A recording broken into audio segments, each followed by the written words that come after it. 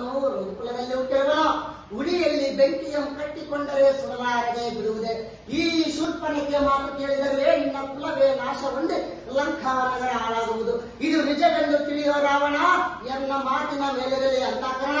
ಅವನಾದ ಮಾತುಗಳೇ ರಾವಣಾಸುರನೇ ಎನ್ನ ಶೌರ್ಯ ಧೈರ್ಯ ಚಾತುರ್ಯ ಕಂಡು ಯಾವ ರಾಜರು ಭೋಗ ಭಾಗ್ಯ ಬಿಟ್ಟು ದಿಕ್ಕೆಟ್ಟು ಓಡಿ ಹೋದರು.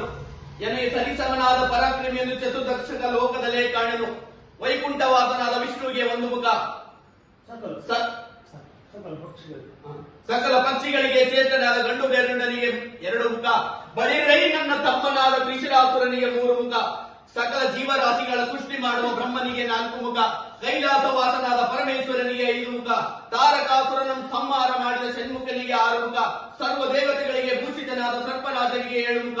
ದುಷ್ಟರನ್ನು ನಷ್ಟಗೊಳಿಸುವ ದುರ್ಗಾದೇವಿಗೆ ಎಂಟು ಮುಖ. ನಿರುಪಮ ಜ್ಯೋತಿಷಿಗಳಾದ ನಾಗರಂಗಳಿಗೆ ಒಂಬತ್ತು ಮುಖ.